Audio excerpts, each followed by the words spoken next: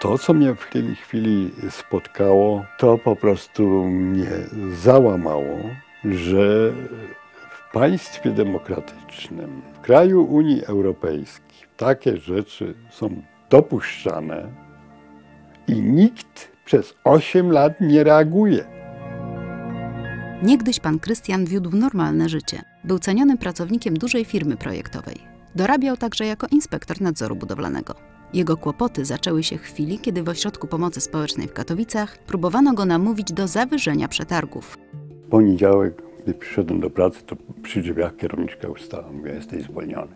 Zagroziła mi, że czekamy ciężkie konsekwencje, bo nasza organizacja cię zniszczy.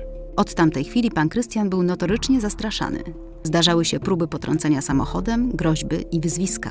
Gdy doniósł o tym do prokuratury, w odwecie sam został oskarżony przez jednego z nękających go ludzi. Zostałem oskarżony o groźbę karalną. W efekcie skierowano pana Krystiana na badanie psychologiczne, które trwało w jego ocenie nie dłużej niż dwie minuty. Lekarka bezpodstawnie wpisała mu w dokumentach, że choruje na paranoję. Mimo wielu odwołań do sądu, w rezultacie mężczyzna został osadzony na obserwacji w szpitalu psychiatrycznym w Rybniku. Zmuszono go do brania silnych leków psychotropowych.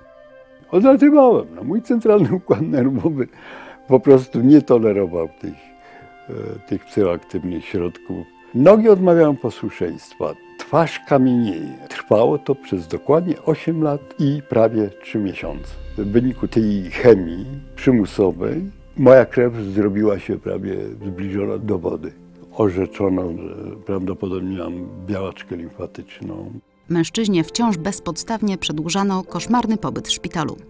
Pisałem, walczyłem z całą władzą państwową. Nikt się nie zainteresował. Robi się z człowieka no, totalną szmatę. Ja byłem niewolnikiem szpitala, a szpital miał dochody ze mnie. Zgarnął ponad 300 tysięcy za ten pobyt od Narodowego Funduszu Zdrowia.